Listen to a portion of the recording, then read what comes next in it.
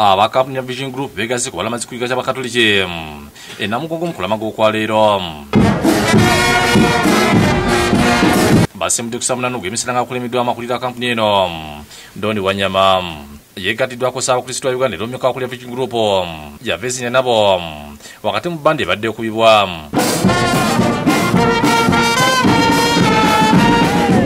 kubaddeko ne poliisi ebiduuka bwedda ebasagulire kubo bwe batuuse ekyaliwajjala basinkanye ekijja ky'abalamazi abavudde erira nga kiruta akaseera nga bayimiridde olulanamugi w'abalamazi abavudde mu saza eririra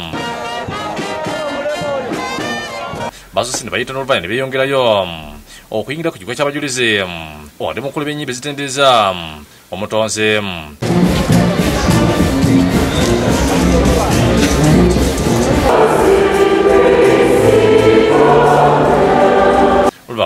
mu kitambi kya misi kulemiddwamu viika jeni w'essaza ly'e kampala.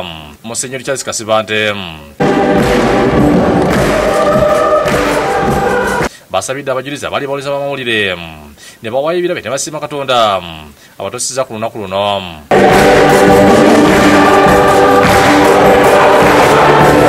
Musenyori kasibante asomeseza ku neeyisa abajulizi. Okuli sente mugagga sente akirizi kiwanuka ne sentambulozi kibuuka king demanded of them. St. Ambrose Chibuka was 18 years when he died for the faith. His father, Chisure, and he was born in Mutusaliso, Muyinga, asaba abamuwulire okwesigama ennyo ku bajulizi nga basaba katonda okubabeera mirimu gye bakola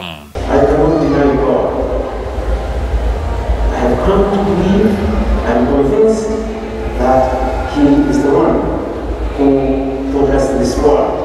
And to believe in Him is the only thing I can stand for. He was very firm, he was very courageous, and he would not give up his faith. abamu ku bakozi ba vision group abeetee mu lugendo luno okuli omukungu w'epapula bukidde michael mukasasebowa n'abalala boogedde ku mulamwa gwe bakulembezera ne benyumiriza mu by'okulembera mu kambi z'amawulire omwaka guno okujja ku lunaku lwaffe olwatuweebwa olw'okujja naffe okwetaba mu kulamaga enamugongo olunaku lwatuweebwa lwa muwolereza waffe akirizi kiwanuka era lwero olwaleero lubeerawo nga lumu jjuuni tetujja mu noveena y'abajulizi enamugongo olugendo lubadde lulungi nnyo abantu bakatukubyeeko tusuubira gwe mukisa ogwo gwe tufunye. Yakulira vision group doni wanyama anywedde kulamaga kuno n'olugendo nga bwe lubadde vision group tubadde tulamaga nga abakozi ba vision ah, nga naffe tujoininga abatambudde ah, kuva wala nekumpi ah, ku lunaku luno. David tamale nejjawolo omukere bakusakidde eggulu ino lwabukedde tv